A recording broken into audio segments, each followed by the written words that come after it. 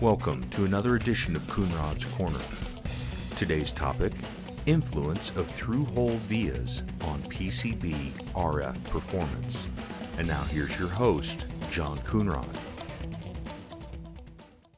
Hello, welcome to Coonrod's Corner. My name is John Coonrod. I am a technical marketing manager for Rogers Corporation. Today I'm going to be talking about printed circuit boards and specifically uh, an item that's used very often in printed circuit boards, which is uh, plated through-hole vias and the impact they can have on RF performance for printed circuit boards. Now obviously uh, plated through-hole vias are used in uh, the majority of uh, printed circuit boards, but they can be rather difficult to characterize uh, at microwave frequencies and especially at millimeter wave frequencies. Uh, the plated through-hole vias actually have several different properties that can be rather difficult to understand. And I'm going to go through several examples today and explain how the capacitance and inductance of a plated through-hole via can alter the impedance and ultimately alter the return loss and the performance of the circuit. What I'm showing today will be a quick summary of a paper that I've given at an IPC trade show uh, last year. So if you want more details on this topic, you can go to our Rogers Technology Support Hub and then search for a uh, paper that is from the APEX IPC 2016, same title as this one, with the uh, influence of uh, plated through-hole vias on printed circuit board RF performance. And that paper will give you a lot more information on the same topic.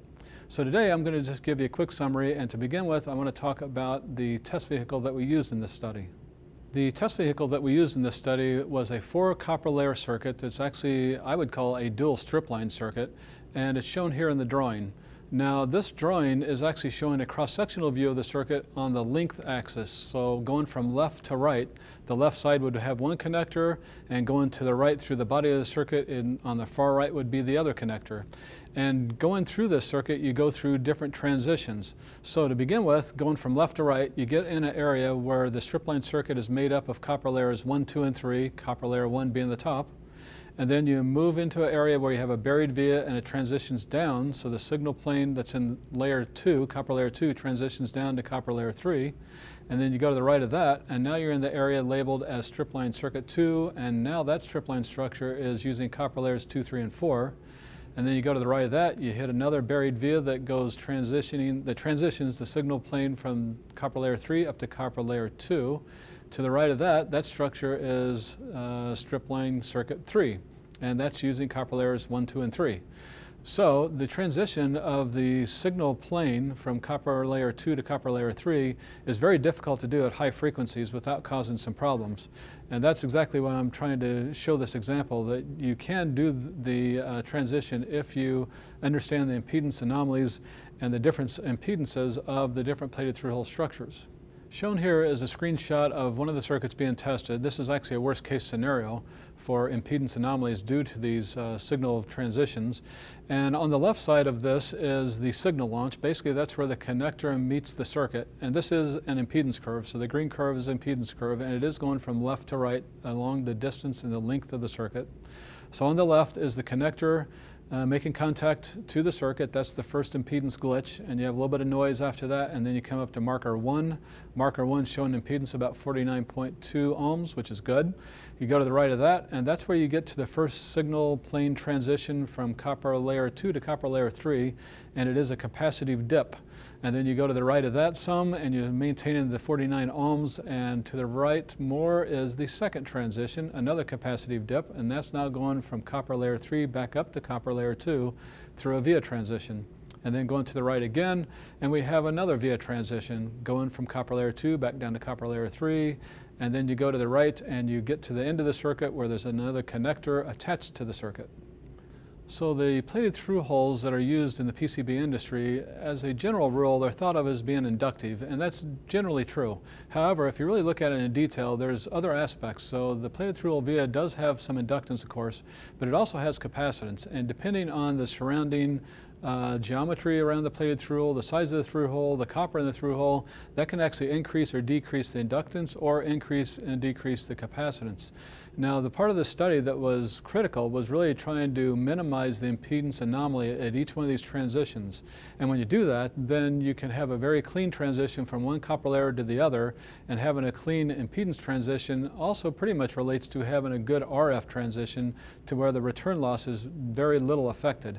And that's really what the intent here was, and that is to basically minimize the impedance anomaly at each one of these transitions and try to have the circuit have a much wider band return loss. The diagram shown here is a plated through-hole via going through a four copper layer circuit. Admittedly, this is not the exact same construction as ours, but it does give you a good idea of the different impedance and capacitance characteristics of a plated through-hole structure. So it's showing that there is a series inductance due to the via going from one copper plane to another, which is correct, but there's also some capacitance, and some of that capacitance is the copper of the plated through-hole itself, and some of the capacitance is the gap between the plated through-hole wall and the ground planes on the inner layers, which would be the antipad.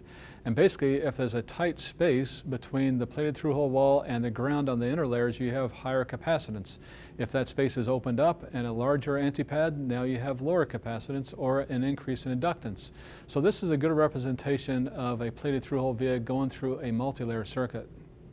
In the picture shown here, I actually have two different screenshots that I'm comparing. The first screenshot is the impedance curve that I already showed, and that was really uh, a worst case scenario where each one of these signal transitions have a pretty good capacitive dip, which is not desired.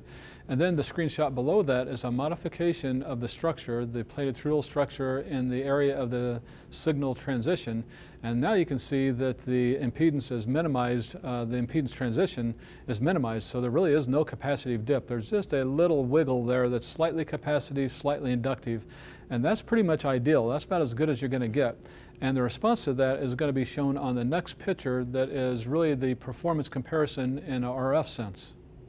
The pictures shown here are the same circuits that were tested on the previous pictures, where the previous pictures were the impedance characteristics. Now we're looking at the RF characteristics of these circuits. The top picture is looking at the S11, S22 return loss curves, which is the orange and the blue curves respectively. And the gray curve is the S21 insertion loss.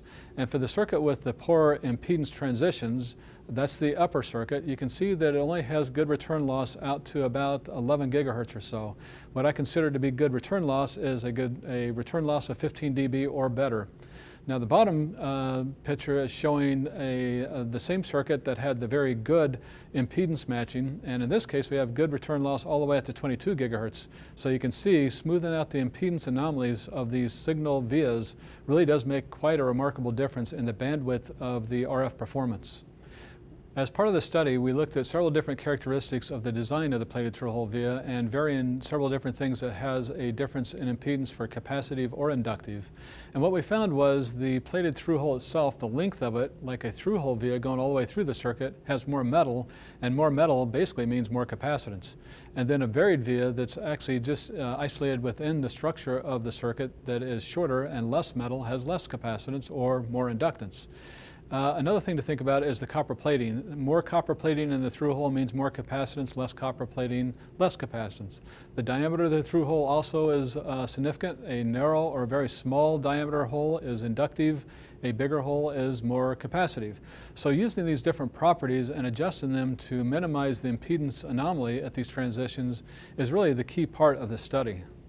The table of information shown here is a quick summary of this study. There's a lot more details. Again, you can get this from our Rogers Technology Support Hub if you want to take a look at the paper and get into more details. But the table of inf information here is uh, pretty meaningful for some of the basic uh, things that we learned in this study. To begin with, if you look at the first two rows, uh, test vehicle TV2, TV10, this is using through-hole vias through the entire circuit to make the transition for the signal to go from copper layer 2 to 3. And that has, uh, that particular type of through-hole via is through the entire link, so it has more metal just by the nature of it going through the entire circuit. And what we found was if you drill a smaller diameter, that reduces the capacitance effect, and because of that, we get better return loss. And you can see that at the far right. And then the other vias that we looked at, some of them anyway, is shown here on the row, uh, row 3 and row 4, which is test vehicle TV4 and TV12. These were buried vias and they physically are shorter so they don't have as much metal, not as much capacitance. So in this case, to actually improve the return loss, what we did was drill a larger hole and increase the capacitance some. And there you can see the return loss improves pretty substantially from 12 megahertz, I'm sorry, 12 gigahertz to 22 gigahertz. That now concludes this session of Coonrod's Corner. Thank you for watching.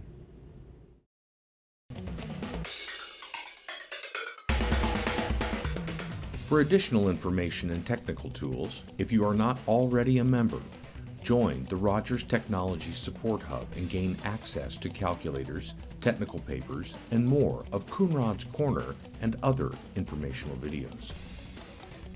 Rogers Technical Information is also available at your fingertips with the Rog mobile app, available for the iPhone, iPad, and Android devices. Check it out today.